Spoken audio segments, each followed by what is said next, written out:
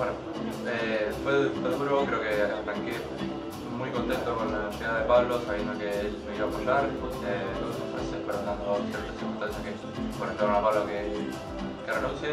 Eh, y ahí tuve un cierto bajón que me permitió, bueno, yo que dice la palabra, eh, un bajón que llegaba el nuevo entrenador, desconocido mío, no tenía idea. Eh, y tampoco ir ganando minutos, la verdad que me costó. pero la verdad que la veo muy positiva, pues sabiendo que venía de, de Quilmes, sabiendo que venía a luchar por el puesto eh, y que ahora esté jugando unos minutos, que si bien tengo partidos que entro que no entro, eh, la verdad que estar en el plantel y estar en la rotación es algo muy Eh, y estás en un equipo que tiene particularmente tres bases en el puesto de uno, eh, bastante distintos. ¿Y, y cómo te sentís con eso? Y ciertamente raro, porque no sabes qué aportarle al equipo que ellos no, no, no, no. Marcel le da un poco más de tranquilidad, más de orden, ellos además de tener la pelota de, hacer, de generar mucho juego él. Eh, yo tengo que ir viendo en qué manera hago que el equipo esté contento, que funcione. Eh, creo que las veces que entré lo estoy haciendo muy bien, entonces me cuesta mucho más por las pérdidas, por, porque a veces no, no, no sé eh, mandar al 100%, pero bueno, eso a medida que pasen los partidos, a medida que pase que vaya madurando, lo voy a ir mejorando. Eh, pero como te digo, estoy muy cómodo, eh, cada vez que entro a la cancha todos me intentan apoyar, que, que me vaya muy bien, así que buenísimo. ¿No, no, no defendés? ¿No jugás? ¿Es tan así? Es así. Es así, te no entrenás. A ver, O te retan, o te vas afuera, entra otro. Eh, si no mostrás, no pones las ganas, la actitud, la- las ganas de defender, eh, te vas al banco y te lo hacen, te lo hacen notar. Eh, cuando entra un chico nuevo, uno que apenas conoce la categoría, eh, el jugador rival sabe que tiene que atacar y ver cómo respondes. Si respondes bien y defendés, bueno. Si no, no defendés, te van a ir. Te todo el tiempo. prueban todo el tiempo.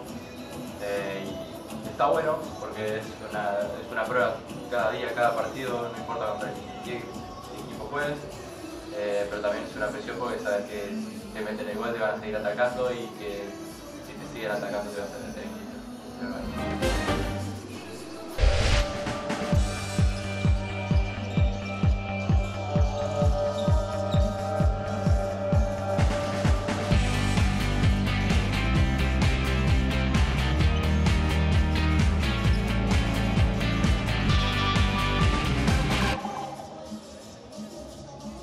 Contame de- del club, de los rumores y más que rumores de lo que se comenta permanentemente cuando llega un argentino y te dicen, mirá que por acá pasaron y empieza el chorro de argentinos que no solamente fueron muchos, sino que hicieron verdaderamente historia dentro del club.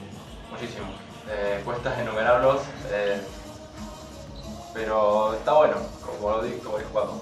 Eh, está bueno tener eh, ciertos referentes que pasaron por el, club, te miran de una manera diferente los hinchas, los dirigentes, eh, y está bueno sentir esa presión, sentir que también querés hacer un poco, de historia, querés ganar algo, así que obviamente trabajamos nosotros para eso, pero si no se da, pues sinceramente ellos, ellos fueron una estrella, eh, y todos tuvieron éxito, nosotros también estamos trabajando para eso y ojalá. Y por último, eh, contame un poco de la Liga Nacional. Sé que te fuiste hace muy poco tiempo, eh, que todo esto es muy nuevo y que tu carrera recién está empezando, pero bueno, tuviste tu formación en Quilmes y en la Liga, así que contame, hoy, recién llegado a Europa, ¿qué sentimientos, qué sensación y qué te dejó la Liga Nacional? mucho. Eh, básicamente me, creó, me, hizo crecer como profesional. Eh, tuve los 5 o 6 años jugando en Quilmes y la verdad que me ayudaron bastante. Eh, entrenadores, jugadores, son muchos como para enumerarlos, eh, me ayudó mucho. La verdad que es una liga en la cual puedes crecer tranquilamente eh, y te lleva a ciertos lugares del mundo. Como a mí me trajo hasta acá, eh, la verdad que es muy buena. La verdad que la liga es muy competitiva, muy dura y año a año viene creciendo. Así que fue suerte lo que a mí me pasó en Quilmes, ir paso a paso y terminar jugando de titular.